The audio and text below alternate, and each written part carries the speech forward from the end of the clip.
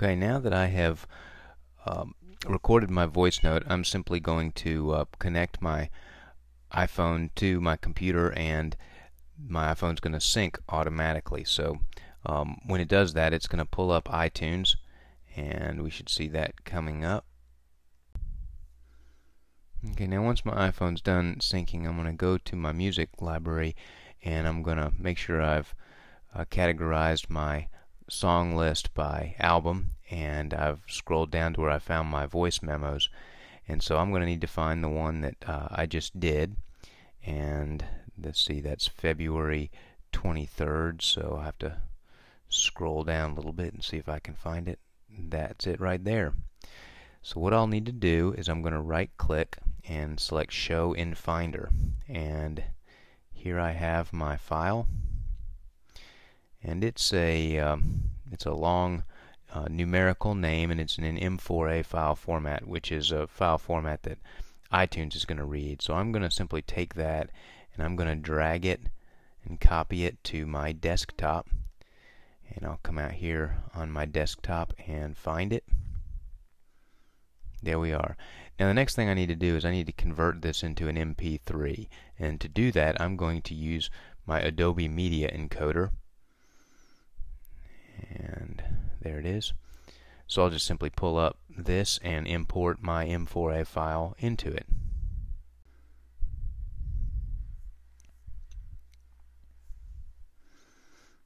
Alright now I'm going to add my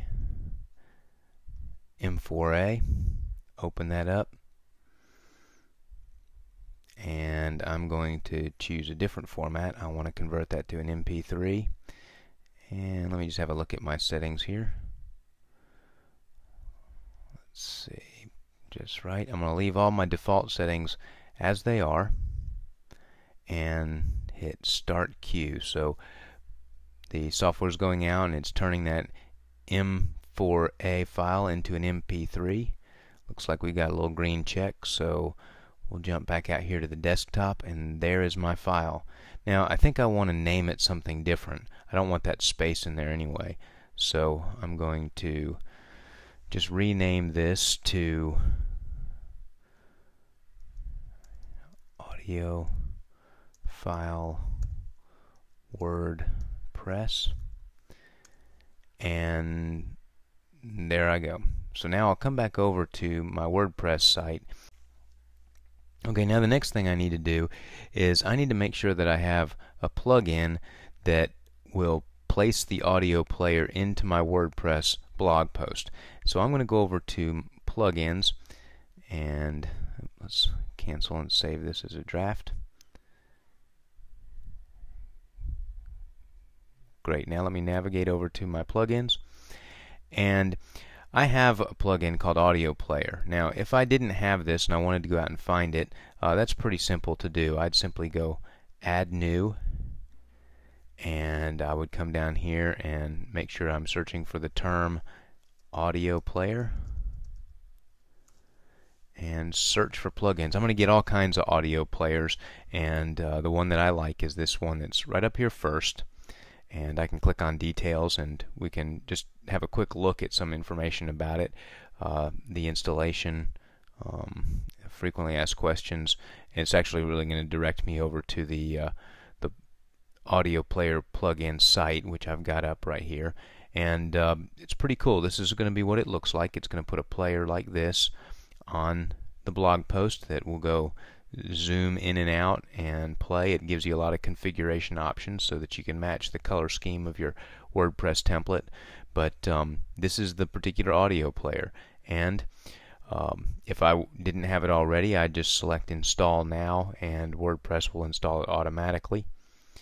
As it is, I have it and it is all ready to go. Just double check my settings here and um, I've got it pretty much set to the default settings. Um, I can verify that the audio folder is uh, is there, and um, if you want to, you can go in and play with uh, your different settings and learn a little bit more about it.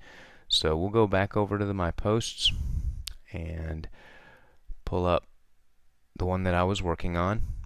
So now we'll pick where we want the audio player to be and go click on our little add audio icon up here, the little one that looks like a, a musical note. We see our max upload file size is 10 megabytes and we'll select our file. Let's see, our file here is 4.7 meg. So we'll open that up and WordPress will upload that audio file. Take just a few seconds to do.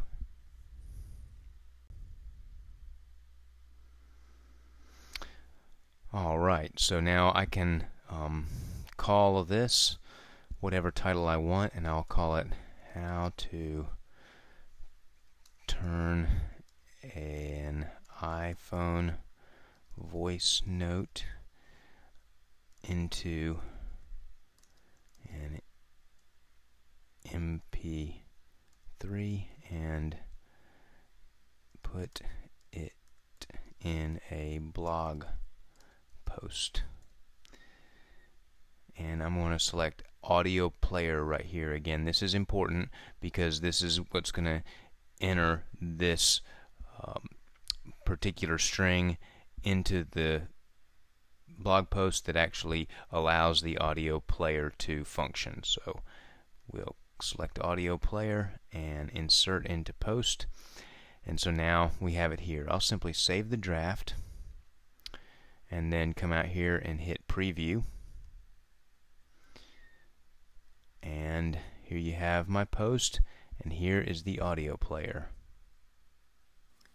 Adding audio can do a lot to enhance the quality of your So there we go. Looks sharp and that is how we take an iPhone voice note, turn it into an MP3 and embed it on your WordPress blog.